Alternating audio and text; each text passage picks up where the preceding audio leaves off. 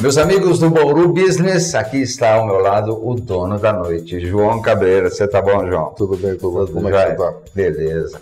O João Cabreira, que quem vive a noite bauruense conhece há muito tempo. Você é de Bauru, João? Não, eu sou de Borebi, mas eu recebi o título de cidadão bauruense. É, agora então é cidadão É, eu sou bauruense. cidadão bauruense. Você está aqui há quanto tempo na cidade? Ah, eu vim pra cá com um ano de idade, né? Então eu tô 50 Então é anos. né? bauruense. É, bauruense. É, você começou a sua vida profissional em banco, você trabalhava em banco, não é isso? Isso, eu joguei voleibol, depois fui trabalhar em banco e comecei, montei um bar porque fui visitar meu irmão, vi um bar legal em Londrina, que ele fazia a faculdade de medicina lá, daí comecei, falei, vou montar um barzinho desse aí. E peguei gosto, há 33 anos aí na noite. Então, a primeira casa qual foi? O Zanzibar, Zanzibar. é isso. Que ano foi isso? Foi em 83. 80. Zanzibar, o que, o que acontecia no Zanzibar? Era um barzinho Era um bar é, parecido com o Sampa, era música ao vivo, só que não tinha, naquela época não tinha portaria, não tinha nada, era tudo aberto, né? Teve Salva Duque aquilo. A mais famosa foi o Camarim. É, tem o camarim, o tequila, né? O camarim tem mais história, né? É. Mas tem, tem bastante casa legais. Teve aí o tequila, o Vila Madalena, que mudou um pouco o conceito da noite, que era vários ambientes num lugar só. Eu me lembro muito do camarim, até porque morei ali perto, vi o agito que era, o número de pessoas que frequentavam e que curtiam o camarim, era uma coisa louca. Você fazia uma festa lá, você teve até que passar pro Bauru Tênis Clube porque não cabia. Como é que foi? Das, das Repúblicas, né? Tomou uma proporção que o camarim era para 600 pessoas aí, fechou a porta do tênis, pra você ter uma ideia, Nossa. entendeu? Então é... Mas o camarim abria quinta, sexta, sábado, todo, sabe? Era, foi muito tempo. Ô João, você teve alguma casa noturna aqui na região de Bauru? Na região não, eu tive uma em Campo Grande Hum. e na praia, né, que é o bar do francês, e na praia da Cocanha, que é entre Caraguá e Ubatuba. Era mesmo, mesmo, mesmo É, estilo? bar com música, cerveja e porções.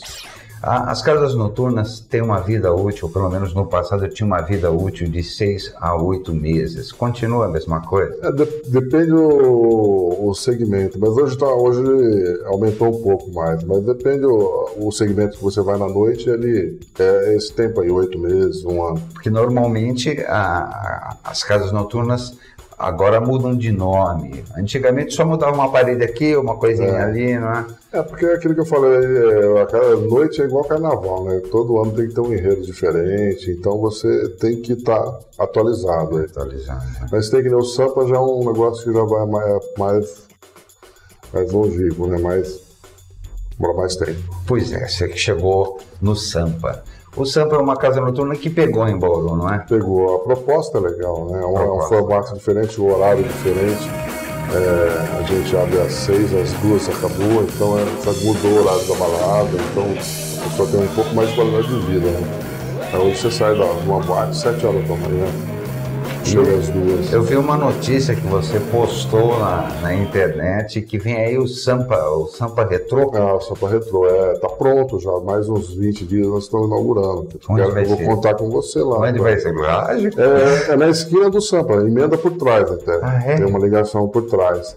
É, para maiores de, de 30 anos, né, é uma, tipo uma réplica do, do camarim mesmo, entendeu? É um negócio que só vai rolar som 70, 80 e 90 no máximo. Nossa, e o povo tá adorando, né? Tá, tá curtindo. Eu vi lá pelas curtidas, 400 e pouca quando eu entrei. é, em duas, três horas, cara.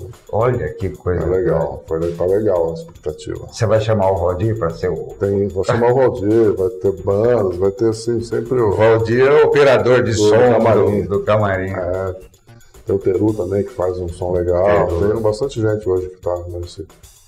Vai. Mas vai, vai ser legal, vai ser um remember mesmo. Você já teve quantas casas noturnas aqui em Bauru? Aqui né, eu tive acho que 18 casas noturnas. 18. Você lembra Fora deles, o nome delas não? Ah, lembro, né? Tem que Fala, fala, né? fala. Queremos Nós ouvir. começamos é, o Zanzibar, tem o Camarim, tem o Bar do Francês, tem o, a Cachaçaria do João, tem o Maria Bonita, tem o Carme, tem o Stage, Bangalô, Havana, é, Vila Madalena, Santa Madalena, Sampa, aí vai. Puxa vida.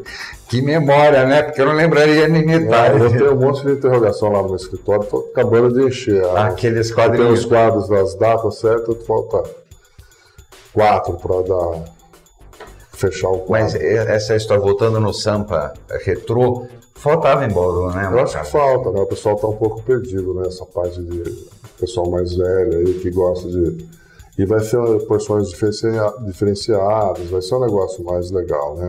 Mais, bem mais íntimo, assim, né? Eu, você inaugurou o Sampa lá em Rio Preto, São José do Rio Preto. É isso, isso.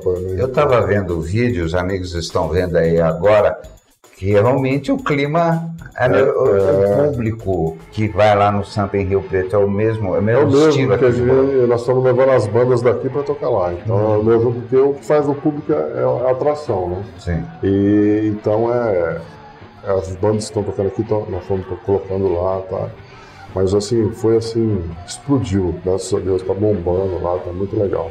Sampa é uma franquia ou você que monta? Então, o de Rio Preto é nosso. Mas eu já vendi, mas é, tô terminando de formatar a franquia, já até vendi uma para Londrina, o Miguel da Marathon comprou uma franquia para Londrina, já começou a obra já, mais três meses estamos abrindo, mas é uma franquia. Então Bacana. só estou terminando de formatar, mas vendi para o Miguel porque ele tá, é amigo, fizemos um contrato por fora aí, mas é, já é franquia. Que bom, que bom. É coisa de que nasceu aqui em Bauru e para fora, né? Exportando aí para outro estado já. Você tem mais alguma casa noturna para inaugurar aqui em Bauru? É, tem a, o Retrô, né, que você citou, tem o Santa Madalena, que mais uns 20 dias depois de inaugurar o Retrô. Ah, pensei que o Retrô era ali no Santa Madalena. Não, não, é bem do lado do Sampa mesmo. Sim, sim. O, daí o Santa é outra proposta, que é a proposta antiga é, um mês depois de inaugurar o retrô, e Londrina, que é uns três meses aí para inaugurar. Você é, pegou essa coisa de ter uma casa em alta, né? É. em auge, e uma reformando, continua assim? Continua, né? Você fica na. Vinca a novidade, tem que vir com a novidade. E é legal parar um pouco e começar é, outra, legal. né? É bom. As pessoas gostam, o público o, gosta. Porque né? sempre, 80% é o mesmo público, sempre. Entendeu? 20% é o flutuante que está em Bauru, está passando, vai de vez em quando.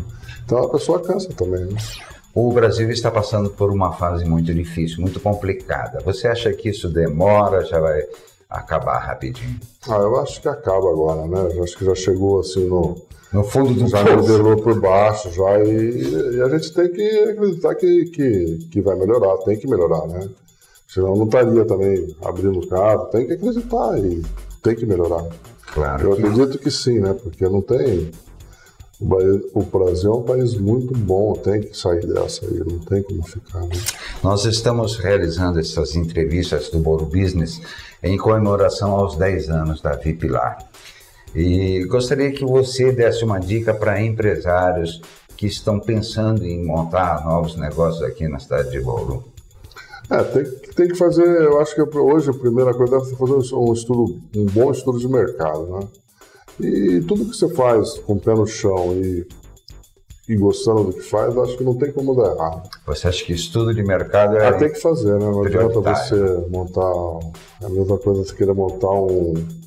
Sabe, um forró no, no, no tênis. É um negócio. Então é. você tem que saber o, o, que você vai fazer, o teu público. Dá tiro certo. É, precisa, hoje precisa, né? O, o, o Sampa Retro já é um tiro certo, né? Ah, é porque tem esse público, né? É o mesmo público do Camarim, é o público nosso, né, cara? Então tem a...